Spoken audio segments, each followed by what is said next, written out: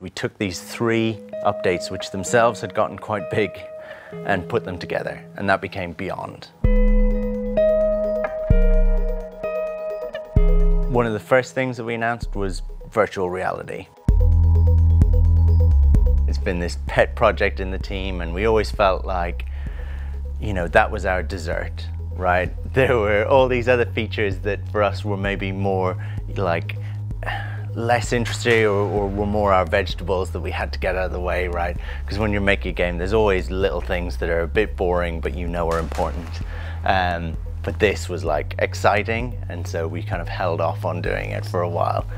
Um, and a couple of the team had been working on virtual reality, and they had said, and we had said to ourselves, it will just be, you know, a reasonably direct port.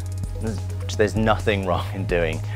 But when we sat down and played it, it started to feel really natural and probably one of the biggest things with it was it made exploring feel more interesting and it made multiplayer feel more interesting. Right? Um, and exploring is such a key part of the game. Right? If, if that becomes more fun, then the whole game becomes more fun. Right? Uh, so we were really enjoying that. Right, we need to make this bigger. We need more time on this more of the team needs to work on it and more of the team wanted to work on it because they were excited about it. And we started adding support for PSVR, which is a huge undertaking and a huge challenge. Uh, Oculus, Index, um, Vive, kind of supporting all the major headsets and then all the major controllers and things like that as well. And then we started revisiting the game and thinking, wouldn't it be nice if when you sit into the ship, you actually hold a joystick in your hand, you actually hold a throttle.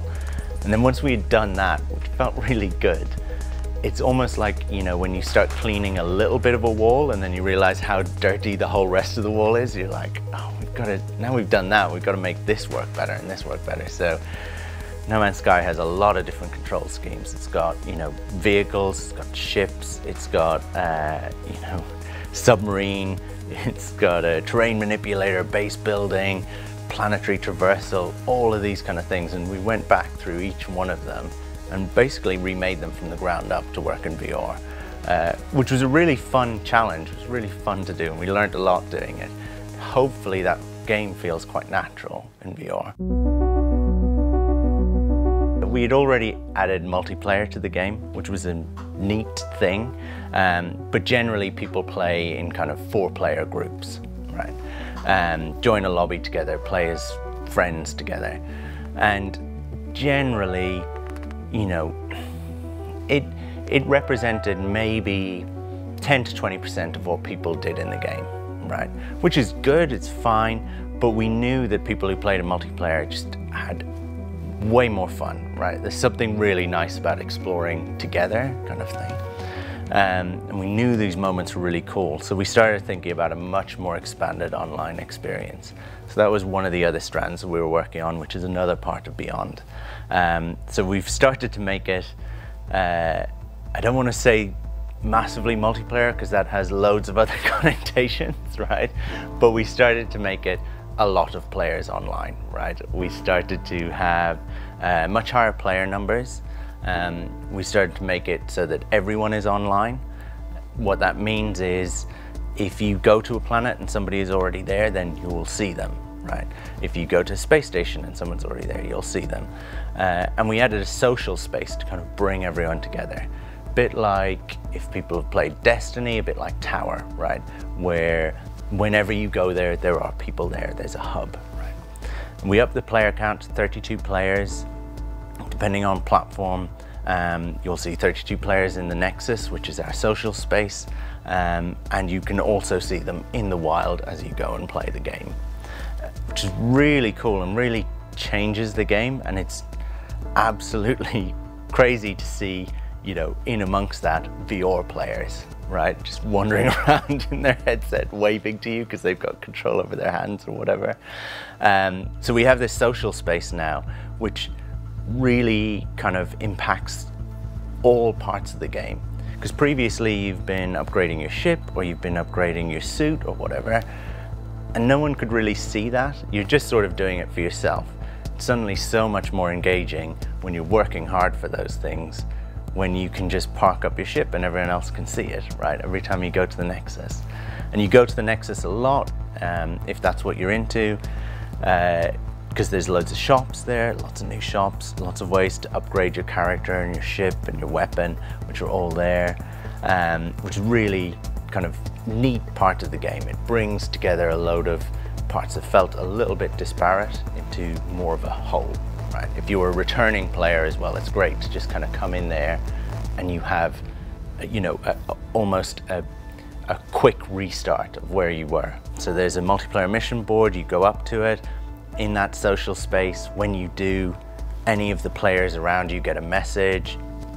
You know, Sean is starting a mission, so you can go and join that mission. Then you're in a fire team together. Um, everyone who goes to the Nexus kind of goes in without any loading time. It's just something that they summon in. They fly in and land and they can see other players who are there at the same time, right? Um, so you just start to kind of randomly group up with players, start doing a mission together. Missions are things like, um, you know, bounty hunting or, uh, you know, it's No Man's Sky, so it's things like archae archaeological missions, digging up bones or taking photos or whatever, right? Uh, and sometimes it's things like base building. And what we find is people are given a little base to build. There's like four of them, they join up into kind of a group or a fire team and they fly down to the planet and they have to start building a base with, you know, these three things in it. Uh, and they start building a base together and they've never met each other before in their life and then suddenly they've basically built a little home and they stay together in their group and they start playing together and they keep expanding that base. So that's that's what we want to do is take some of the best moments of No Man's Sky before of people randomly meeting each other or randomly building a base together um, and bringing them together, right? And it also really helps bring out that multiplayer aspect because now you don't need three other friends who own the game, right? You can just meet random people easily at any time, just summon in that Nexus, fly in and start playing with them. And then there's this kind of third pillar of the game, which, you know, we told people about virtual reality and we told people about, um, you know, online early on. Uh, we thought we were doing really well because we told people way more than we normally do before release. Normally we don't say anything until the game's about to come out um, or until an update's about to come out. So we were like, the community will be fine. Um, we'll just tell them that there's three things and here's two of them. Um, and that'll be way more than we've ever told them. That'll be cool. Uh, but of course, they completely fixated on what the third thing was, right? it's been really interesting to watch uh, for us because everyone has something different that they want that third thing to be. And I think that's really reflective of our community as a whole, that they are all playing the game in different ways. Some people do base building, some people do farming, some people are all about exploring, right? Um, and they often can't even understand each other. They're like, you what? You, you spend all of your time doing missions? Who are you, you know? Uh, it's really fun to watch. Uh, but it's really interesting as a developer, as a designer, that there's so many different ways to play the game and that you're trying to pick things that they would really enjoy, you know, and would mean something to them or resonate. Um, and that third strand that we've been working on is actually to try and do that, right? Luckily, because if it was one feature, I don't think it would keep, you know, it would manage to satisfy people because they play it in so many different ways. Luckily, what we've been doing is a lot of features, right?